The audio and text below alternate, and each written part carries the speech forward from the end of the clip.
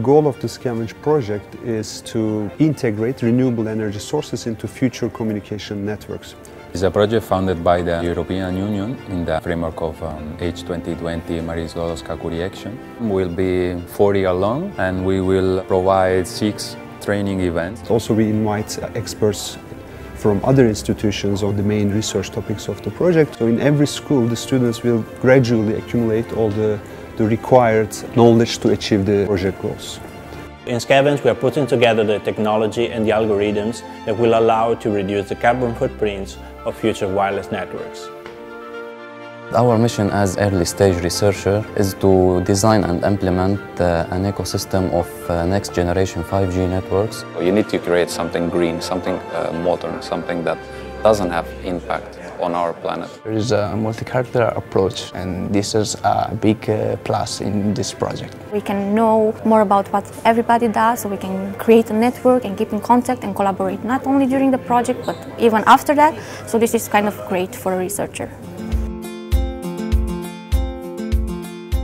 Event will be open, so other students from other university can also participate to our training event. We bring together various different institutions, universities, even industrial partners. Scavenge project contains some theoretical stuff and also some work related to industry.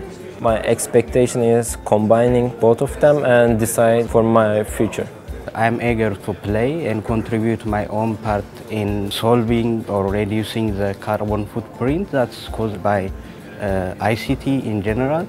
My goal is to reduce the bandwidth requirement during the very high traffic in the network. I hope to imply my mathematical knowledge, mathematical models to become more professional and maybe to become a professor in this uh, domain. In the future, I think that I would like to go aware with uh, the research uh, area. My main goal about this project is to learn a lot, gather a lot of knowledge and develop a base station basically. In Scavenge, we are putting together a solid training program by mixing and combining uh, stochastic optimization tools together with some advanced knowledge of 5G and future mobile telecommunication systems. At the end of the fourth year of the project, these guys will be really trained and have very important skill for bringing their knowledge into the market and into industry and the society can benefit with their skills. We expect that our students, uh, when they finish the project, they won't only be the best researchers in this area, but also will be ready to convert these ideas into real products and have impact beyond academia as well.